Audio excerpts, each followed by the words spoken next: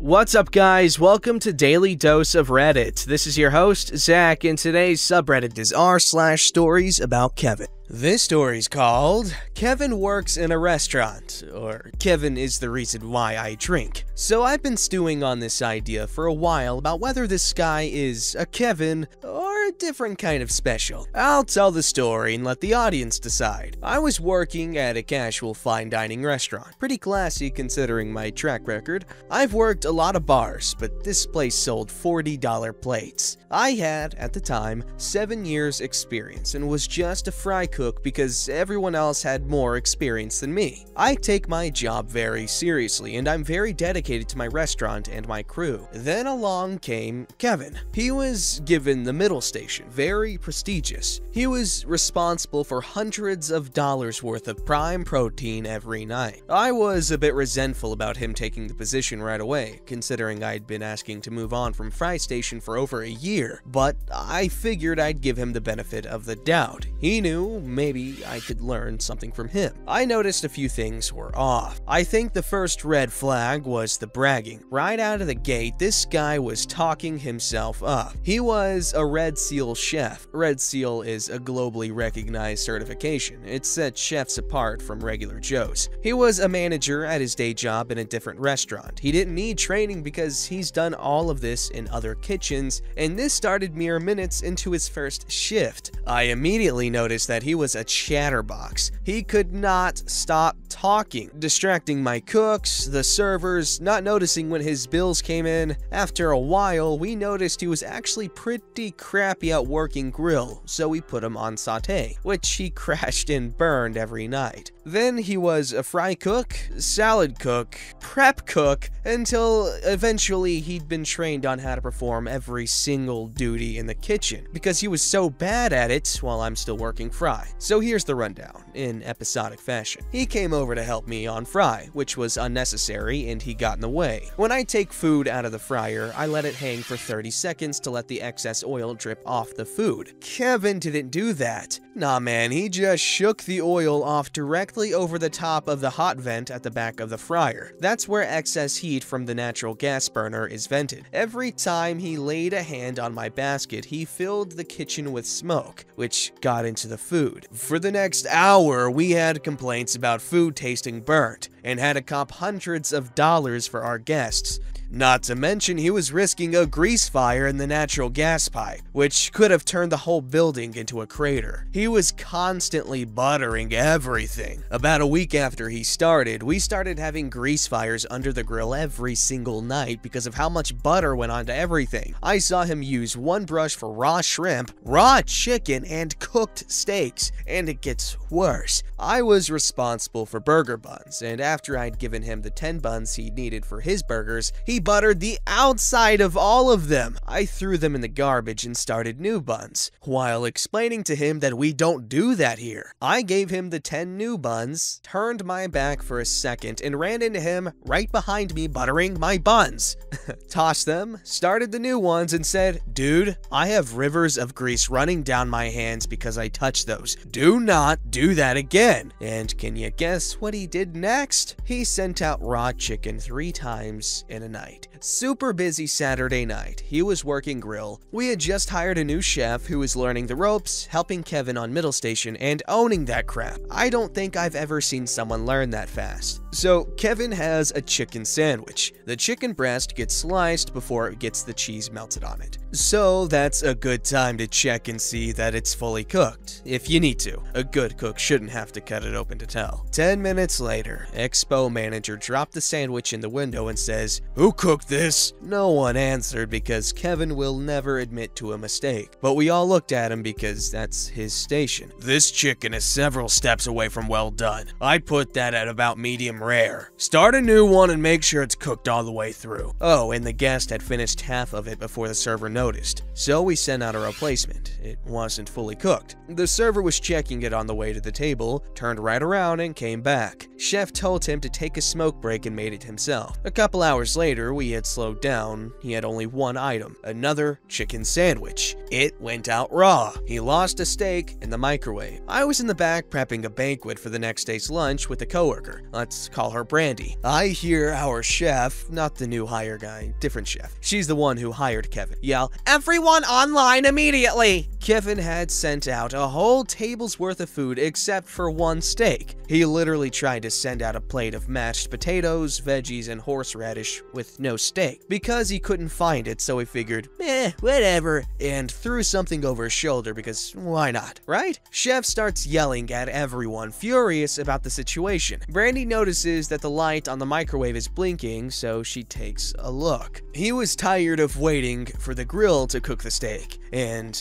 put it in the microwave. Oh my god. If there are any fellow kitchen workers reading this, I am so very sorry to fill your minds with such darkness. Hold on a second. Don't microwave meats to cook it, man. Oh, that poor steak. Oh no. Back to the story. Uh, he sent a weird ass message to an underage cook at 3 in the morning. Remember Brandy from before? She's 16. This is her first job. She and I worked side by side and we bonded with the spirit of camaraderie that's common in kitchens. In the course of a year, I taught her almost everything I knew about kitchen work helped her through the hard times, kinda took her under my wing. One night, as we were prepping in the back, she tells me Kevin had sent her a message the night before at 3 a.m. going, Hey, what you doing? And she was like, Uh, going to bed? I have school tomorrow. I told her she should talk to a manager about that. She didn't, and so I did. We agreed that because it didn't happen on the property or during business hours, they didn't have any recourse. But that really galvanized my feelings for him. Before, he was just really annoying, skirting on dangerous, but now it's actually threatening. I started keeping a much closer eye on him after that. He asked me about cakes when Brandy was right there. Aside from salads, Brandy was also in charge of desserts. The night closer is responsible for pulling cakes from the freezer so we have enough defrosted for the next day. As I was checking over her dessert cooler and explaining some detail cleaning that I wanted, Kevin comes up, blocks her off, and asks me how many cakes I'll be using that night. Brandy pipes up, it is her station after all, and starts to answer, and he holds up his hand to cut her off and says, Nope, this question isn't for you. So I let him finish the question, took a step back, and let her finish answering. Didn't even say a word. His attitude was the absolute worst. I showed up at 4 o'clock. He started working at 4.30 and immediately started whining about how he has to make pasta portions. I told him, dude, you aren't getting paid to put on a uniform. We are all working and we're all doing it with a smile on our faces. You don't have to be here and frankly, and he cut me off and said, I don't want to hear about it. He didn't know crap about knife safety. We had noticed our knives were on their last leg and our chef, girl chef, the one that got mad about the microwave steak, decided that we needed new knives. Now, see, knives are my jam. They are my favorite part of the job. I love knives so very much, and a brand new set of knives made me so happy. But after a week, we started seeing cut grooves in the stainless steel counters. I started being super watchful anytime Kevin was in the building, and I found out that he wasn't using cutting boards for anything. I told him he had to. He said, yeah, okay. We had that conversation about six times before he caught on. He didn't know any kind of safety. In this industry, we are often in close proximity with lots of dangerous stuff. Pots of boiling soup, pans of hot food, sharp knives, what have you. So we announce our presence. If you walk around a corner, you yell, corner! If you're carrying something hot, you say, hot corner! If you are behind someone, you say, behind! That sort of thing. Someone noticed he didn't do that and trained him on it. He walked behind everyone online with a hot pan, didn't say a word. Brandy turned around and just about walked into him. He did that about four times in one night until the manager took him aside into the office and had the safety talk because he just wasn't listening. This is just scratching the surface surface. He was with us about five months, and there's probably a lot I'm forgetting.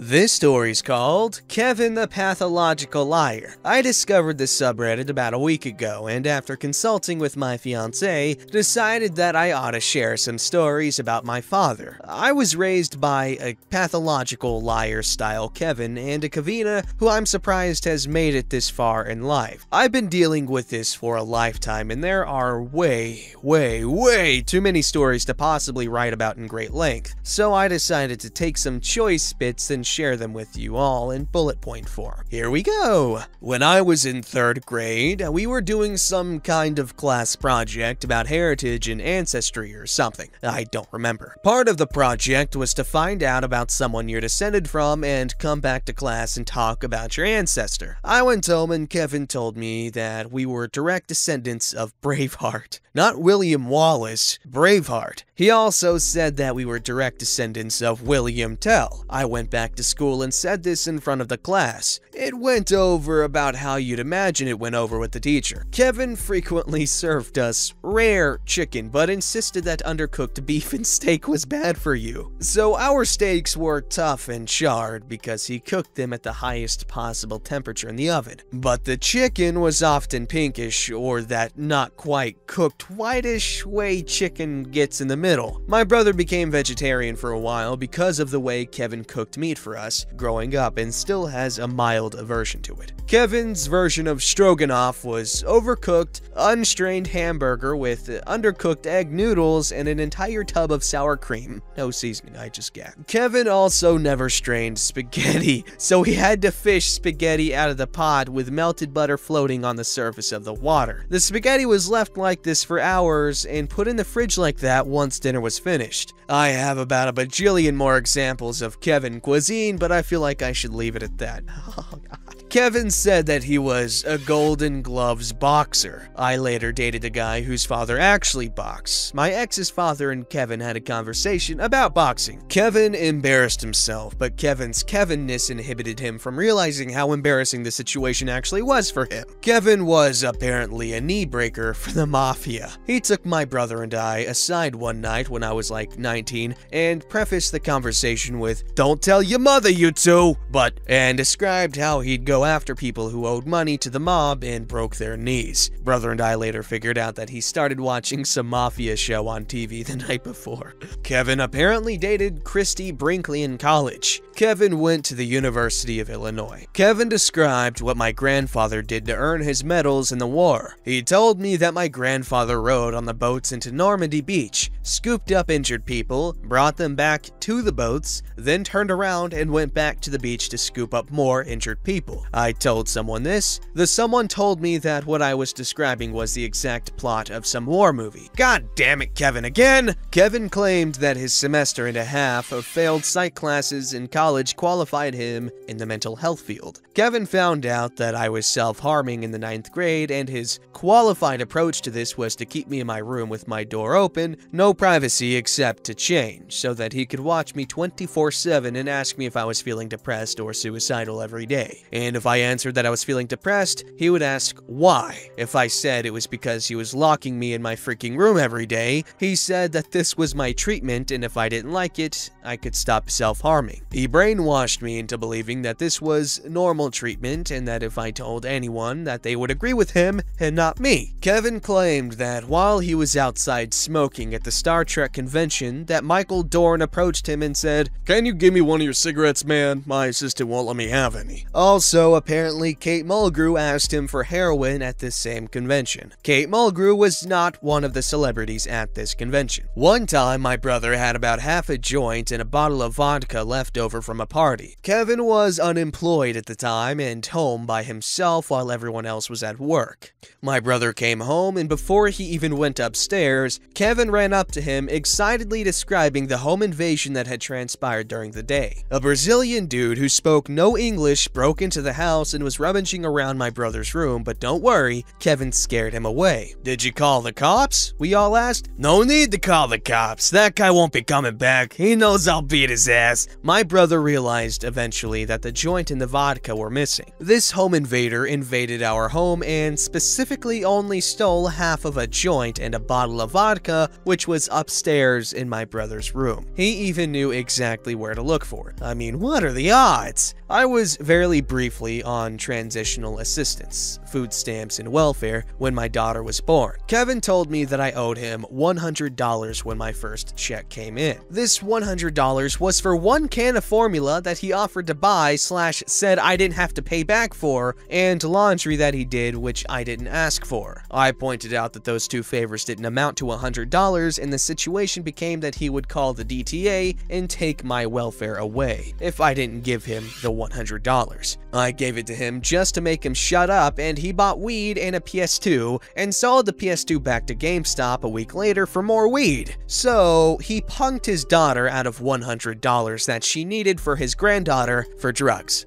Kevin once was looking out of the kitchen window while the rest of the family were conversing and shouted, Did you guys see that eagle? Holy crap, an eagle! An eagle! And ran outside shouting and pointing at the sky. There was no eagle. We still have no idea what that was about. Kevin works for a company that sets up bins throughout the town that say, Donate here. People donate, his company picks up the stuff in the bins and resells it. Kevin gets his pick of what's in the bins. I know it, my brother knows it, my extended family knows it, our friends and acquaintances all know it. Kevin still takes the things from the bins and tries to give them away as Christmas presents, like without washing them, as in giving my cousin a shirt that had garbage juice on it and reeked of cigarette smoke, but claimed that he bought it because the tag was still on it. He feels that because the tag is on it, the item is automatically brand new and that he can tell people it's a new item, even if the item is clearly from like 1997. My aunt was not happy about the garbage shirt incident and called him out, and Kevin was angry because my aunt should have been grateful that he thought of her son at Christmas time.